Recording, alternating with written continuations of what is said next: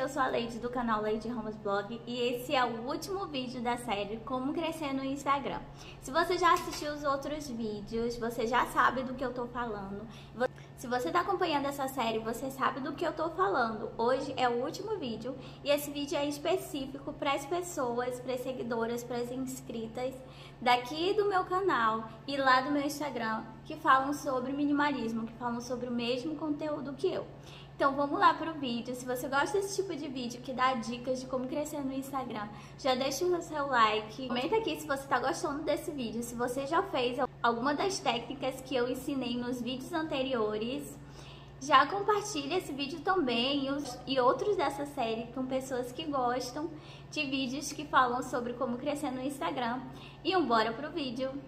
Gente, hoje nesse vídeo eu vou falar como você vai trabalhar especificamente o seu nicho. No caso, o meu nicho e o nicho das pessoas que estão assistindo esse vídeo deve ser minimalismo. Então, como que eu trabalho minimalismo dentro do meu perfil do Instagram para atrair pessoas que gostam desse assunto?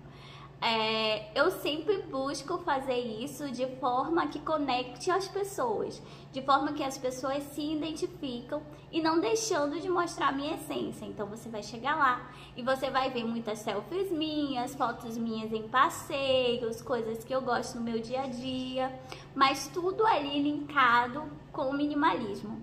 Eu sempre busco, gente, mostrar para as pessoas as coisas que eu faço, a forma que eu vivo é, dentro do meu estilo de vida, né? Lá no meu Instagram eu faço posts com dicas de como ter uma vida mais minimalista, como ser mais minimalista dentro dessa sua, da sua casa.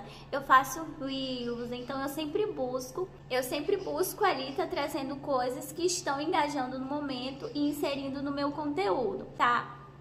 Então, se tem um vídeo viral rolando, eu penso em como eu posso engajar o meu conteúdo, como eu posso ligar o meu conteúdo àquele vídeo para que o meu conteúdo seja visto por mais pessoas. Então, uma das coisas que eu uso é música do momento.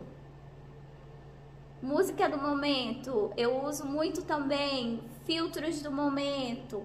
Eu gosto de fazer vídeos que tenham um alto alcance, porque é um meme, é uma coisa engraçada, e eu tento ligar ele ao meu conteúdo. Então, essa é uma das formas assim de ampliar a visibilidade do seu conteúdo, é você linkando ele ao que está acontecendo na atualidade.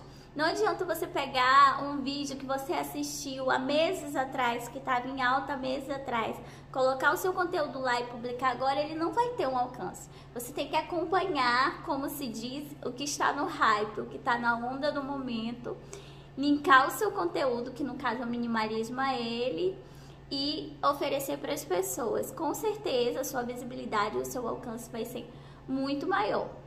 Outra forma que eu uso lá no meu Instagram para estar tá mostrando o meu conteúdo minimalista é acompanhar canais, acompanhar perfis que falem sobre isso. Eu vejo o que, que elas estão apresentando, eu vejo o que, que elas estão mostrando, ensinando e vejo o que eu posso também oferecer.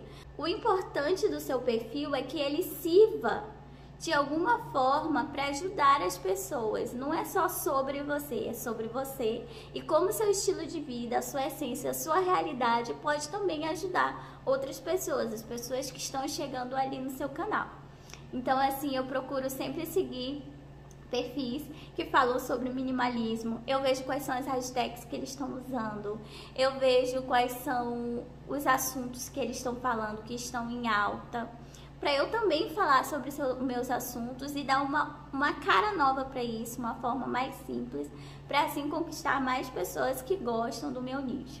Uso sempre as hashtags do meu nicho, uso as hashtags que tem a ver com o meu post. Não adianta eu postar uma foto de uma blusa e colocar hashtag sapato. Isso é péssimo. Você tem que saber qual é a hashtag que você está usando e tem que tomar muito cuidado para não colocar uma hashtag banida que possa fazer com que o seu Instagram perca o alcance total. Então, resumindo, é isso. Eu sempre tento colocar o meu conteúdo, que no caso é o minimalismo, ligado ao que está acontecendo no momento, com as músicas do momento, com os filtros do momento, com o estilo de reels que está rolando no momento. Eu sempre busco trazer para os meus seguidores informações sobre o meu conteúdo que vão ajudá-los na vida prática deles, a trazer mais praticidade para a vida deles. E eu sempre acompanho perfis que falam sobre o mesmo assunto que o meu, tá sempre por dentro do que está acontecendo, das informações mais importantes também está mostrando no meu perfil do Instagram. Porque às vezes a pessoa me segue, mas ela não segue a Marie Kondo, ela nem sabe quem é. E algumas das coisas que eu coloco lá, eu vejo no perfil da Marie, eu li livros da Marie, eu assisti é, séries da Marie e essa pessoa que me segue não assistiu. E lá ela vê uma coisa que, a Mar, que eu aprendi com uma pessoa que é minimalista lá e ela,